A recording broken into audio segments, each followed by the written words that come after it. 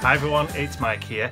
I've got another little shadow box project with you today. This time we're away with the fairies. I'm going to begin with a 3 inch piece of watercolour card and I've punched out a 1 and 1 8 inch circle from a post-it note and I've just stuck that down with the sticky side to the top and with the blending tool and the Archival Ink Tiger Lily, which is a lovely orange colour. I'm going to apply some of the ink, starting from the outside and working my way into the middle with the blending tool to get an even kind of tone. Now I prefer to use the Archival ink rather than Distress ink because it is permanent.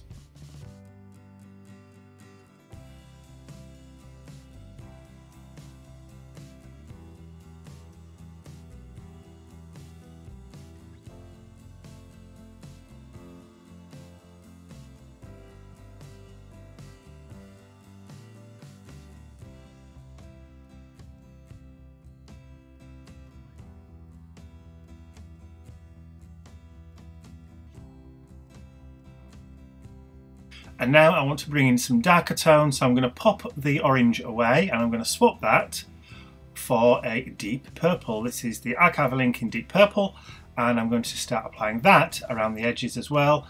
And this gives us the impression that it's starting to get a little bit dark.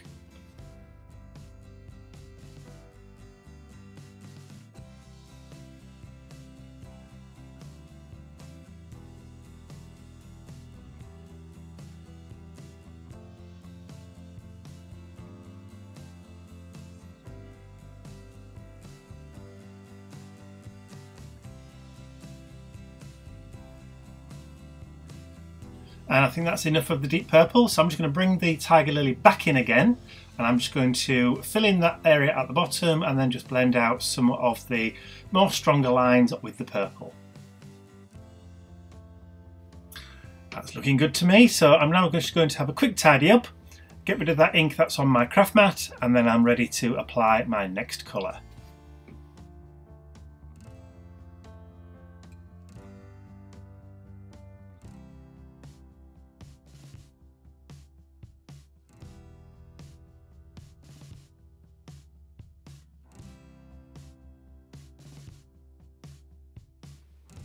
So now we're all tidy. I'm going to bring out the fern green. There you go. And I've already torn a, another piece of post-it note which I'm going to apply towards the bottom to create a mask that's going to give me a little bit of a landscape kind of effect.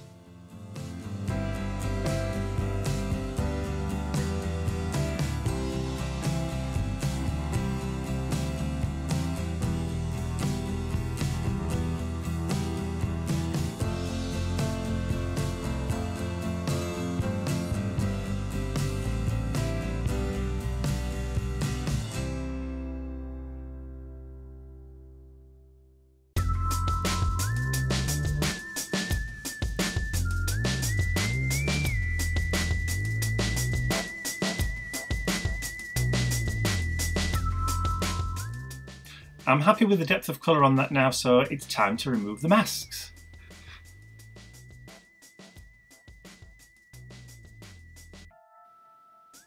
I'm also just going to get rid of that excess ink on my craft mat, just give it a wipe away and then we can move on to the next stage.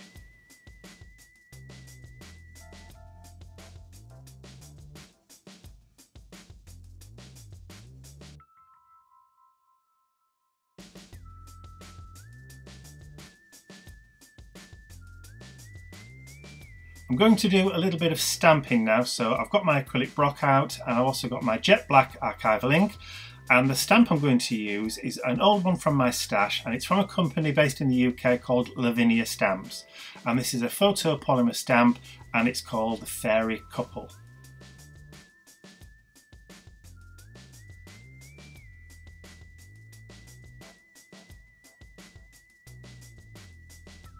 Because I'm using watercolour card, uh, obviously it's got a bit of a texture on it, so I'm not going to get a perfect impression with this stamp and with the archival ink. So I am going to have to come in with a pen in a little while and just fill in a couple of areas that didn't quite catch.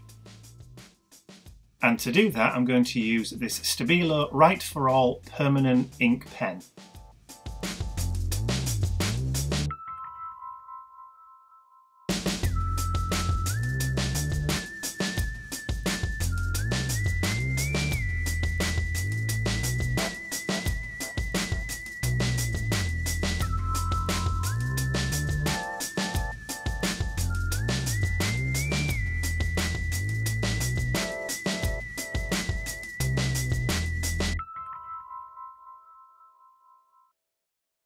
So I'm happy with the way the fairies now look. I'm also bringing out another old stamp. This is from Lavinia Stamps again, and this is a very small mushroom set. Now I did, look on the Lavinia Stamps website, and unfortunately I couldn't find this one on, so I think this is now discontinued.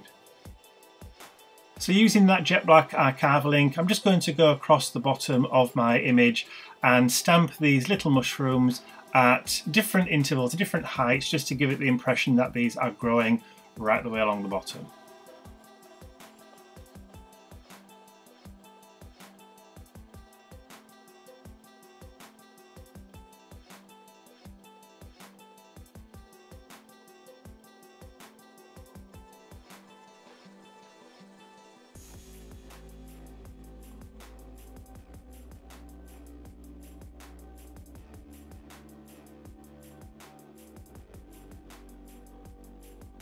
And because we're dealing with fairies, we're also dealing with fairy magic and pixie dust. So I'm going to add some small accents of glossy accents onto the background of my picture just by putting some very, very small little dots.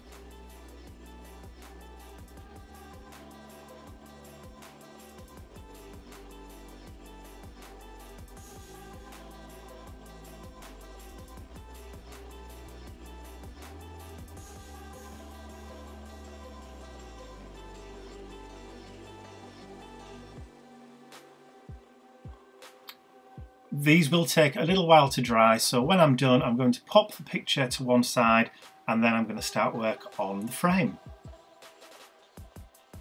So this is the shadow box frame, it's very, very inexpensive from our local craft store and it is quite deep. So I'm going to decorate the front by using a similar sort of technique that I did on the inside. So I'm going to place this piece of card that I've torn to give me a kind of landscape effect and then I'm going to use the archival ink potting soil and another blending tool and then I'm going to use that ink across the bottom with that mask.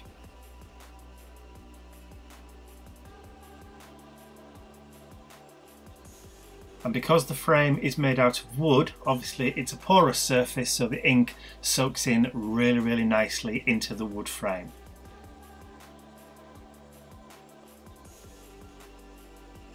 Once again, I'm going to bring back those mushrooms. I'm just going to put a piece of card across the glass so that you're not staring at the camera which is pointing directly down onto it.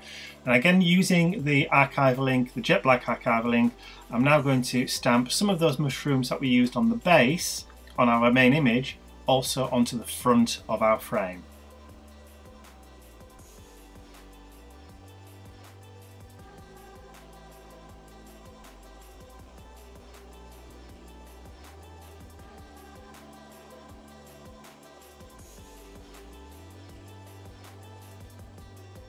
So if you take a look in the very top corner, or now the bottom right corner, you'll see there is a mushroom which appears to be floating in midair. So I'm just bringing that blending tool back in just to ground that one little mushroom that seemed to be floating. So just using that potting soil ink again, I'm just going to add some colour to the underside of that frame, just so it, it ties it all together.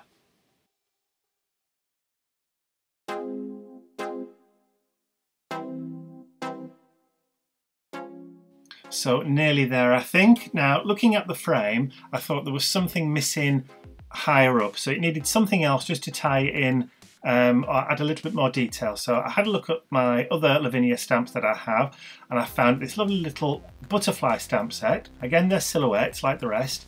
So I'm just going to use the Jet Black Archival ink again and I'm going to stamp some of those tiny butterflies just up the left and right hand side of the frame.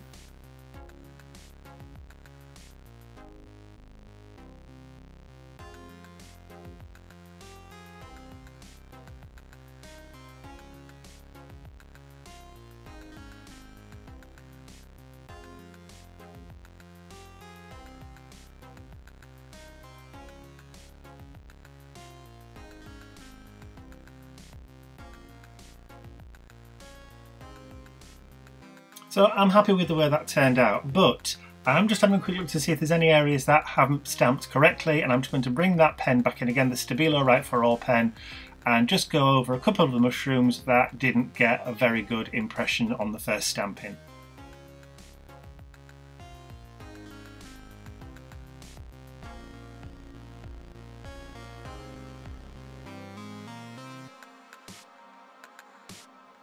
I'm quite pleased with how that's turned out, so I think all that's left for us to do now is to put the frame and the picture together.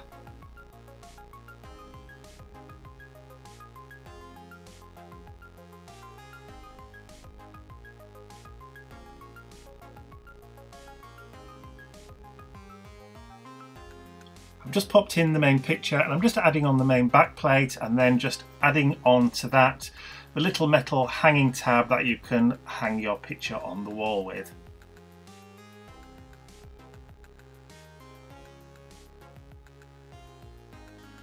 And there you have it, a real cute 3 inch shadow box picture and frame. This would make an excellent present for somebody.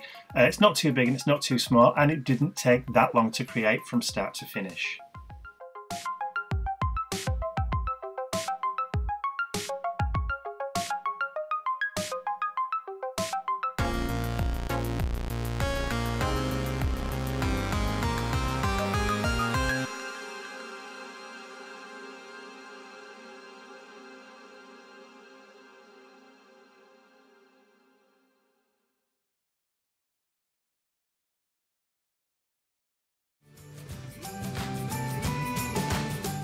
Well, I hope you enjoyed that little shadow box project. And if you did, please remember to give the video a thumbs up. And if you haven't subscribed to my YouTube channel already, you can do so by clicking the button at the end of the video. He won't say goodbye, but I'll say it for him. Bye for now.